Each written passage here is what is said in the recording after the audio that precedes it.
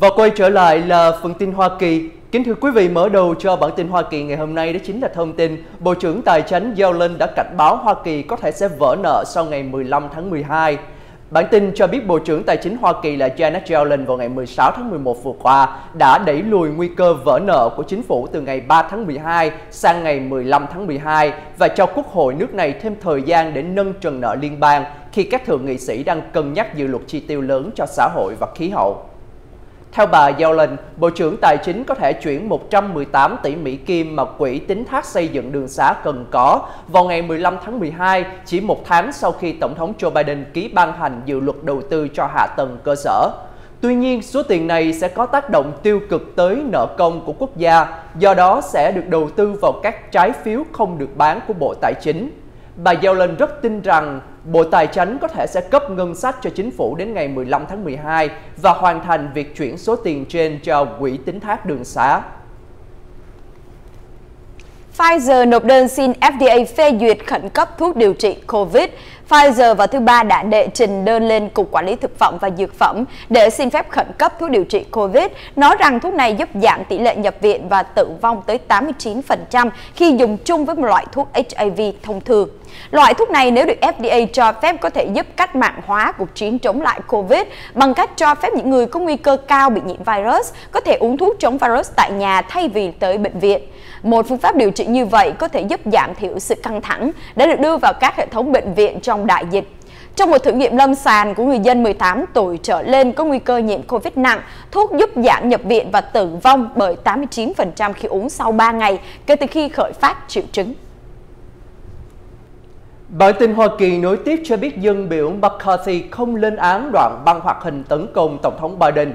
Kính thưa quý vị, lãnh tụ thiểu số Hạ viện Kevin McCarthy cuối cùng vào thứ hai cũng đã lên tiếng về việc dân biểu Cộng hòa là Bogosar đăng một đoạn phim hoạt hình cho thấy ông ta giết Tổng thống Joe Biden và dân biểu Dân chủ Alexandria Ocasio-Cortez. Dân biểu McCarthy cho hãng tin CNA hay rằng ông ta đã nói chuyện với cô Sa sau khi dân biểu đăng đoạn băng vào tuần trước và đoạn băng đó đã được gỡ xuống sau cuộc nói chuyện. Tuy nhiên, ông ta không lên án hành vi của Gostar. Ông McCarthy nói, tôi gọi ông ấy khi nghe nói về đoạn băng và ông ta đưa ra tuyên bố không ủng hộ bạo lực và ông ấy đã gỡ đoạn băng xuống. Tuần trước thì Dân chủ Hạ viện giới thiệu nghị quyết kỷ luật GOSA. Đoạn băng hoạt hình cho thấy dân biểu Cộng hòa từ Arizona đã dùng kiếm chém vào phía sau cổ một nhân vật có khuôn mặt của dân biểu Ocasio-Cortez. Thẩm phán đã bác bỏ đơn kiện Sydney Powell đối với yêu cầu trích vaccine của ngũ giác đài. Một thẩm phán liên bang đã bác bỏ lời thách thức của cựu luật sư Trump là bà Sydney Powell về yêu cầu trích vaccine của ngũ giác đài. Nhóm của Powell có trụ sở tại Texas đã đệ đơn kiện vào tháng 10 thay mặt cho 16 thành viên tại ngũ ủng hộ quyền từ chối vaccine COVID của họ.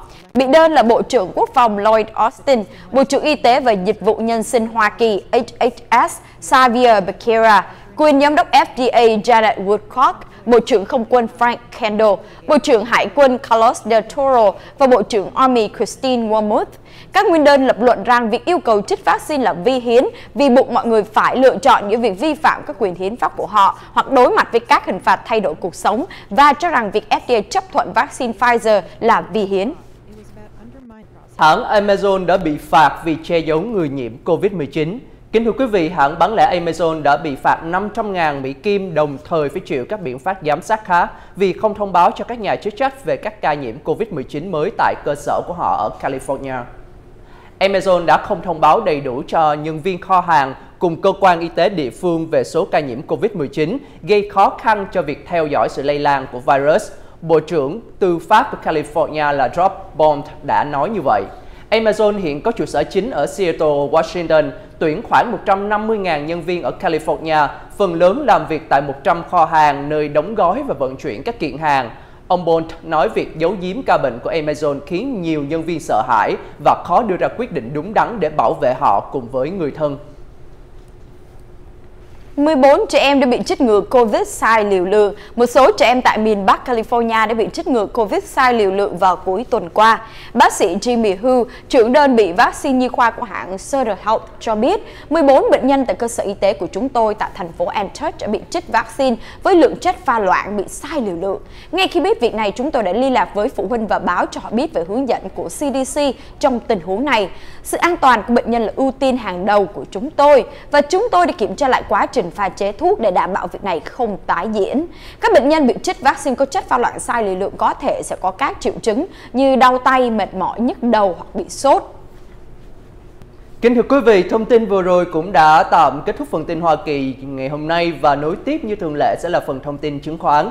Thị trường chứng khoán chiều nay với các chỉ số như sau. Chỉ số Dow Jones dừng lại ở ngưỡng là 35.916.82 điểm, đã giảm đi 0.62%.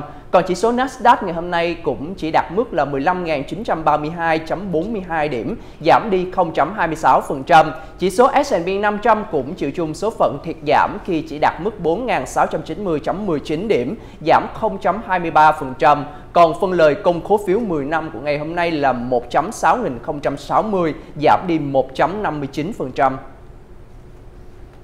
Giá dầu thô ngày hôm nay là 78 đồng 11 cent trong một thùng dầu thô, đã giảm đi 3.28%. Giá vàng tại Hoa Kỳ hôm nay là 1.866 đồng cho một ounce, tăng 0.68%. Tại Việt Nam, giá vàng mua vào hôm nay là 61 triệu 100 ngàn đồng một lượng, bán ra là 61 triệu 800 ngàn đồng một lượng. Và cũng tại Việt Nam, một đô la hôm nay đổi được 22.750 đồng tiền Việt Nam. Vừa rồi là phần tin Hoa Kỳ về chứng khoán. Sau một vài thông tin thương mại, chúng tôi sẽ quay trở lại với phần tin Việt Nam.